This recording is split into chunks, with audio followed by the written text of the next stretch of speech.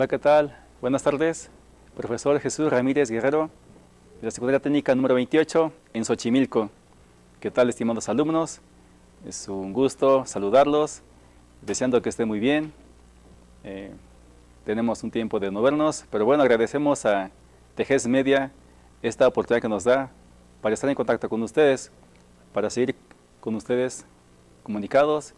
Eh, gracias a las autoridades que nos han facilitado una plataforma educativa para que ustedes sigan aprendiendo y la cual ya han ingresado muchos de ustedes, que es Kuiper School. Bueno, ya han hecho sus trabajos. Los invitamos para que sigan trabajando allí en esa plataforma, ya que vamos a tomarlo en cuenta nuestra participación. Si tienen algún, alguna dificultad, algún problema, por favor, acudan a la secundaria con su tutor, con su papá, para que se les atienda. Si ya no pueden ingresar, tienen algún problema, cualquier tipo de problemas que, tengan, si no pueden hacer las tareas, también acérquense. Y bueno, ya han visto eh, mis tareas que he dejado, mis actividades. Si tienen alguna duda para llevarlas a cabo, también eh, mándenme un mensaje, correo ahí, comuníquense en la plataforma para que pueda atender sus dudas.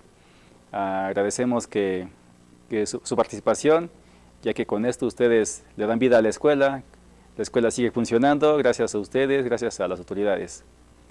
Bueno, estábamos, una tarea que dejé por ahí en, en School, que tenemos que hacer, es del bloque 1, estamos en el bloque 1, ya pronto se, va a evaluar. Bueno, la actividad es localizar números de todo tipo. En este caso vamos a ver enteros, fracciones y decimales en la recta numérica.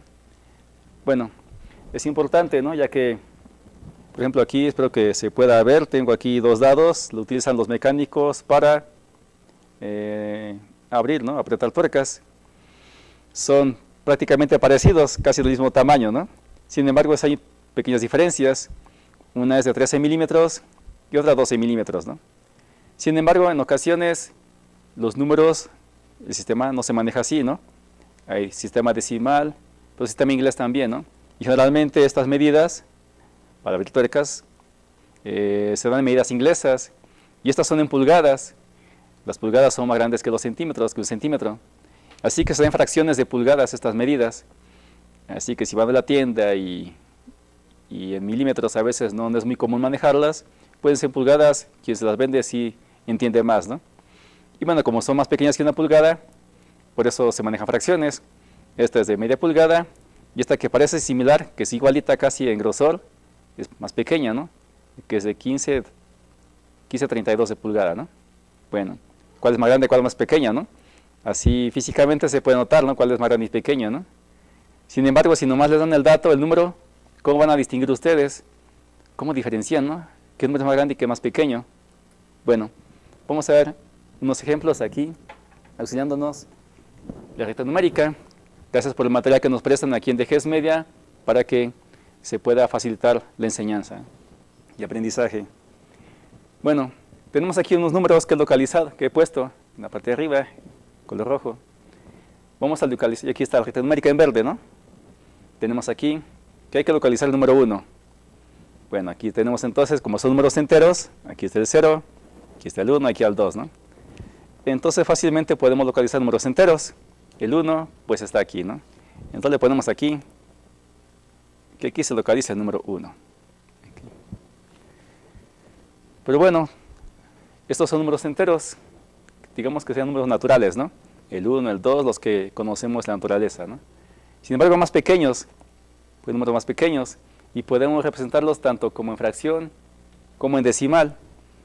Bueno, les voy a pedir que su cuaderno hagan esta misma actividad y que del 0 al 1 dividan en 8, cuadritos, 8, partes iguales. Espero que aquí se vean más o menos que están iguales, traté de esforzarme en eso, ¿no? 8. Y bueno, vamos a localizar entonces la fracción 4 octavos. Aquí arriba tenemos el numerador y aquí el denominador. El denominador nos indica las partes en que se divide un entero, ¿no? Y el número de arriba, el numerador, nos indica el número de partes que vamos a tomar de esa, de esa división. Así que son ocho partes, ¿no? Y efectivamente tenemos aquí una, dos, tres, cuatro, cinco, seis, siete y ocho, ¿no? Son ocho espacios. Nos indica que vamos a tomar cuatro nada más, ¿no? Entonces contamos uno, dos, tres y cuatro. Entonces aquí se localiza el número cuatro octavos. Vamos ahí. Bueno, ahí dejamos mientras. Seguimos avanzando. Ahora tenemos un número en decimal, que es el punto 5, ¿no? Vamos a ubicar, ubicar donde se encuentra el punto 5. Bueno, aquí vamos a repasar algunos temas que ya hemos visto en este bloque 1, ¿no? Tenemos aquí un decimal, y cómo lo ponemos aquí en, en la recta numérica, ¿no? Vamos a expresarlo, este decimal en fracción, para saber cuántas partes son las que vamos a dividir, ¿no? Y tomar en cuenta. Bueno. Para eso, pues vamos a tratar de convertir esto a fracción, que sería, si tenemos aquí un decimal después del punto, ponemos aquí 2 arriba el 5, y como es un decimal, nada más le ponemos el 1 y le ponemos el 10 abajo, ¿no? Entonces son 5 décimos. Si hacemos la división, 5 entre 10 nos va a dar 0.5 y hacemos la comprobación. El número 5 es más pequeño que el 10. Y en matemáticas, si decimos que esto no se puede dividir, que es más pequeño, pues le ponemos un 0, ¿no? No se puede dividir, es más pequeño, ¿no? Pero buscamos solucionarlo de una forma, ¿no? ¿Habrá una forma de dividirlo? Pues sí, pero ya no va a ser un número entero, va a ser más pequeño, ¿no? Anexamos aquí el número 0 y ponemos aquí arribita un punto, ¿no? Para expresar que esto no va a ser un número entero, que va a ser más pequeño, ¿no? Y tal vez ya, podemos hacer la división. Dividimos 50 entre 10, ya se puede. Así que ¿cuántas veces cabe el 10 en el 50? Pues si ya sabemos multiplicar, cabe 5 veces, ¿no? 5 por 0 es 0, para 0, 0. 5 por 1 es 5, para que sea 5 es 0, ¿no?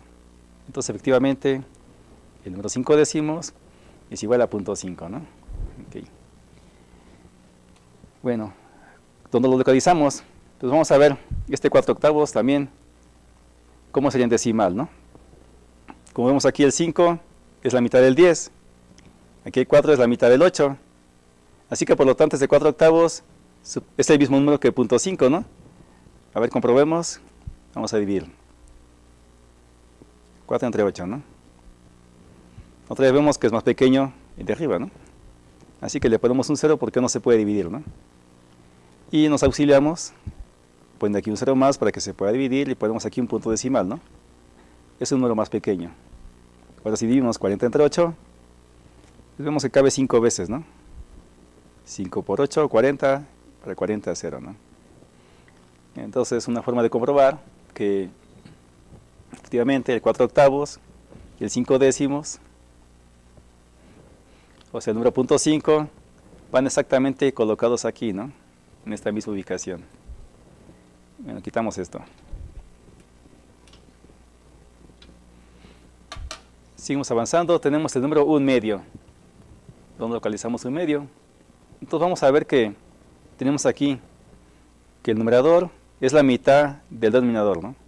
También tenemos aquí que el numerador es la mitad del denominador. Vemos el 1 medio, vamos a ver que efectivamente también coincide, ¿no? Que el 1 es la mitad del 2, por lo tanto también un medio, vamos a colocarlo aquí. Entonces tenemos aquí diferentes formas de expresar un número y que es el mismo.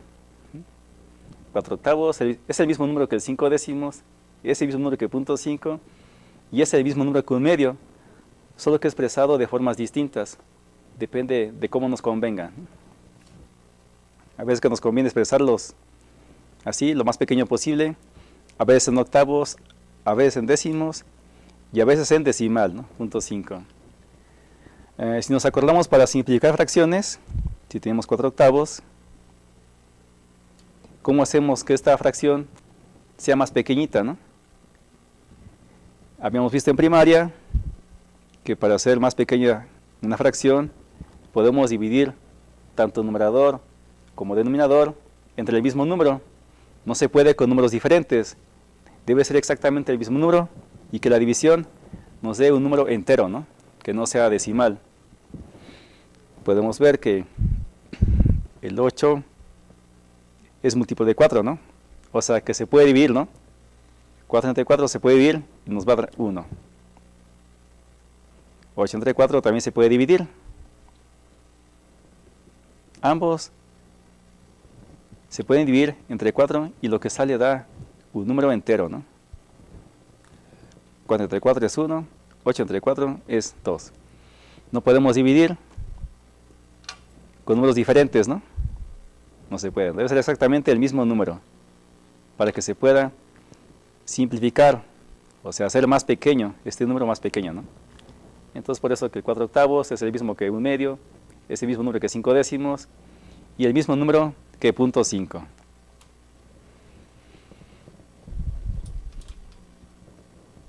Bueno, pasemos al siguiente número, que es el 3 cuartos. ¿Dónde vamos a ubicarlo? El 3 cuartos. Bueno, vemos que están divididos en 8 partes. Y aquí vemos que se puede dividir entre 4 partes. Bueno, lo que hacemos es entonces ver si se puede dividir esto que está en 8 partes, que es en 4 partes iguales, deben ser iguales todas. Mm, para esto vamos a ver que, que la división puede ser un múltiplo de este número, ¿no? Que es un múltiplo, o sea, que se puede dividir, ¿no? 8 entre este número y nos dé una, una cifra entera, no un decimal, ¿no? Vamos a ver si se puede dividir, ¿no? 8 entre 4, pues sí es 2, ¿no? Entonces, vamos a tomar, en lugar de tomar una línea, vamos a tomar dos. Tomamos aquí una, aquí dos, tres y cuatro. Entonces vemos que efectivamente ¿no? tenemos ahora cuatro partes iguales. Una, dos, tres y cuatro partes iguales. De esa nada más tomamos tres. Vamos a tomar tres, ¿no? Entonces tomamos una, dos y tres. Entonces el número tres cuartos vamos a localizarlo aquí. Y se va a localizar el tres cuartos.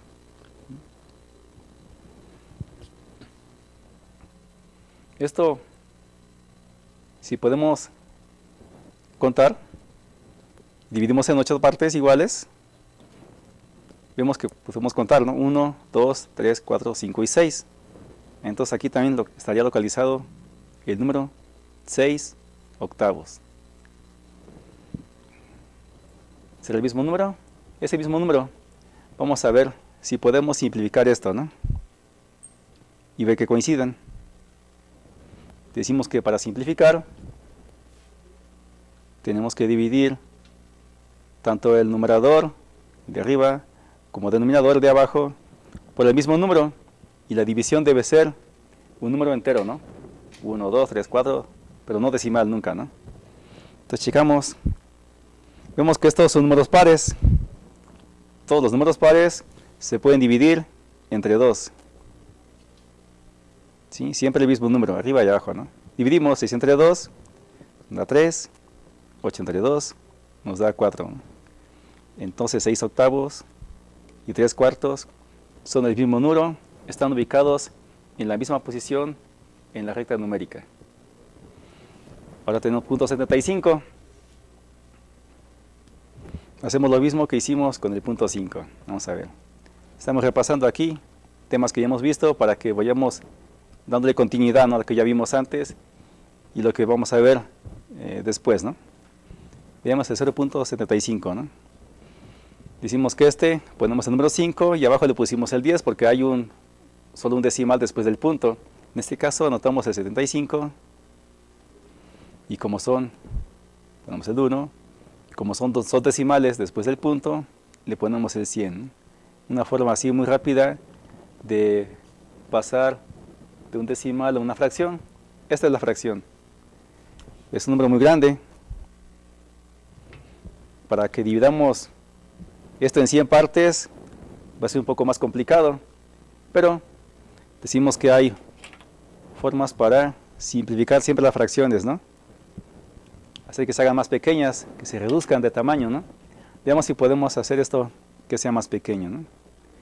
Podemos hacer divisiones, divisiones sucesivas hasta localizar un número más pequeño. Aquí solamente hicimos una división y llegamos a lo más pequeño posible, ¿no? No se puede hacer más pequeño. Aquí tal vez nos cueste un poquito de trabajo, ¿no? Pero vamos a intentarlo.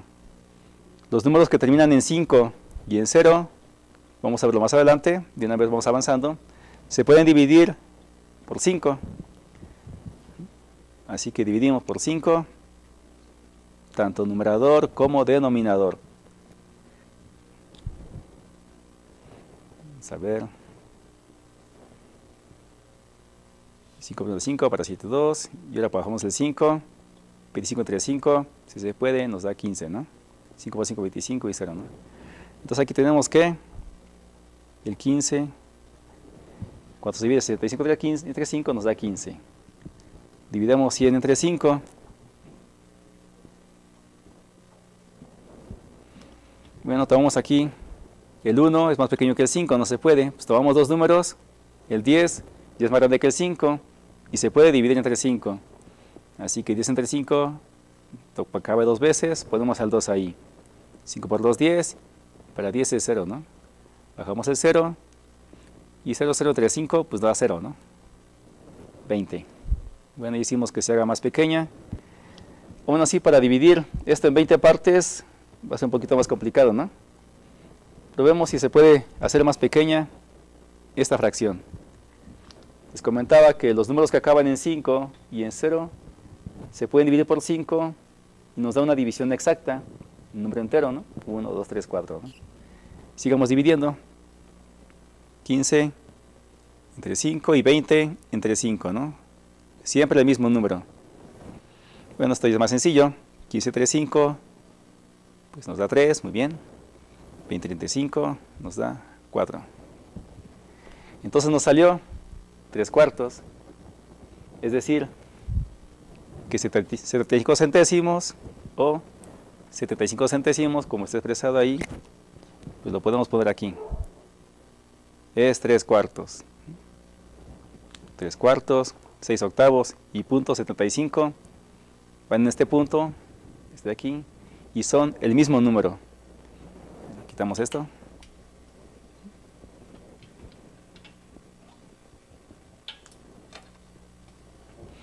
Tenemos aquí un octavo, es más sencillo, ¿no? Si tenemos ocho partes, nada más tomamos una, entonces un octavo vamos a ponerlo aquí. Era punto 125, hacemos exactamente lo mismo. Ponemos el 125, ponemos el 1 y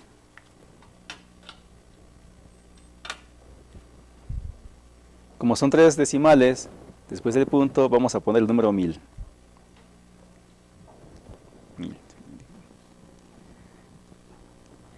Entonces, ustedes en casa practiquen cómo pueden simplificar dividiendo por 5, tanto numerador como denominador, y van a ver que al final van a llegar a, haciendo todas las divisiones, como le hicimos a continuación, un octavo.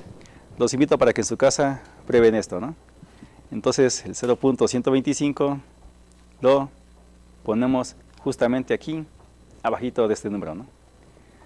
Los números que están a la derecha, aquí son más grandes. Los que están a la izquierda son más pequeños que estos, ¿sí? Más pequeños. Por lo tanto, si aquí son más grandes, aquí más pequeños, el número 3 cuartos es mayor, símbolo de mayor, donde se abre sin K mayor, el vértice es más pequeño, ¿no? Pues tres cuartos será entonces más grande que un octavo, a su vez un medio será más grande que un octavo, ¿sí?